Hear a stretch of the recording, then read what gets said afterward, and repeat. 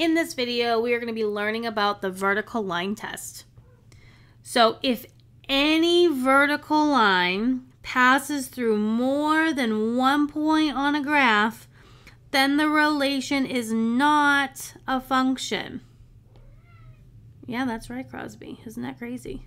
So it's not a function if it passes through more than one point. It's very important to know. This is because the x value repeats, meaning that x is not unique. So let's try that with some of these graphs down here.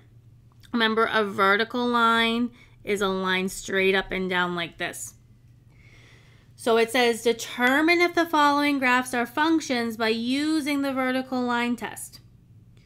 So what I want you to do is either take your pen or pencil and like kind of hover it over this graph vertically, straight up and down. So it looks like this, right? And we want to know if you were to take this line and if you were to move it through the whole graph, at any point, is it ever touching more than one of your ordered pairs? No, it only ever touches one at a time. So if it touches in one spot, that's okay. But if it touches it in more than one spot, then that's not okay. So this is a function. If I look at example two, let's see if this passes the vertical line test. Well, when I start off with this one right here, it's touching it in two different places. And our um, definition up here says if any vertical line passes through more than one point on the graph, then it's not a function.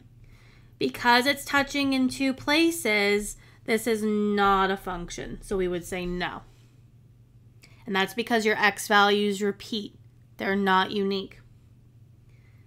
Let's look at the next example. So I'm going to draw a vertical line. You could also like hold a pencil across your graph. And I want you to move your pen or pencil across your graph and see if you are ever touching the graph in more than one location at a time. Here it does not matter where I have my vertical line, it only ever touches it in one spot at a time. So this is a function. Does the next example pass the vertical line test? Well, let's see. If I were to move this line across my graph it only ever touches it in one spot at a time. And so that that means that this is a function. Is the next example a function? No. If I were to draw a vertical line, I can see that it's touching in more than one spot. So this is not a function because our x values are not unique. How about example, the last example? If I draw a vertical line, I can see that it's touching in more than one spot. And so this is not a function. Now, with these last two, I just picked these spots.